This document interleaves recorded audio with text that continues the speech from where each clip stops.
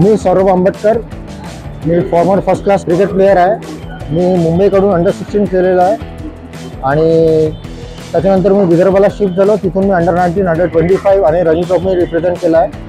आणि सध्या मी कोचिंगमध्ये कार्यरत आहे. मागच्या चार वर्षापासून मी के के आरची आय पी एल फ्रँचायझी आहे. त्यांच्यासोबत मी कार्य करतो आहे के के आर अकॅडमी पण आहे मुंबईला. जे अभिषेक नायर पूर्ण बघतात ते. मी त्यांच्या अंडर तिथे आम्ही मुलांना ट्रेन करतो.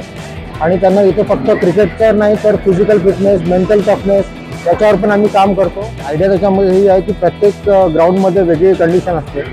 कुठे टर्निंग ट्रॅक असते कधी बाउन्सी विकेट असते कधी फ्लॅट ट्रॅक असते. तर आमच्या प्लेयर्सला कंडिशन मला यूज टू व्हायसाठी आम्ही डिफरंट डिफरंट प्लेसेसला घेऊन जातो त्यांना आणि तिथे प्रॅक्टिस करतो मुंबईला खूप ट्रॅव्हल करावं असतं कधी अंधेरीला बँड्राला कधी गोरेगावला. तर त्याच्यामुळे मला ट्रॅव्हलिंगमुळे मला ट्रॅव्हलिंगमध्ये खूप वेळ जातो. म्हणजे ॲक्च्युली मी राहतो ठाण्याला. तर ठाण्यावरून मला समजा अंधेरीला यायचं आहे तर मला पहिले दादरला जाऊन मग ट्रेन चेंज करायला लागायचं तर मला दोन तास माझा वेळ जात जातो पण आता मला मेट्रो असल्यामुळे एवढं कन्व्हिनियन्स झालं आहे की मी इथे घाटकोपरला येऊन इथून डायरेक्ट मेट्रो घेतो.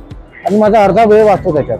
जसं मुंबई लोकल लाईफलाईन आहे मुंबईकरांची तसं मी बोलतो की हे सेकंड लाईफलाईन असला पाहिजे.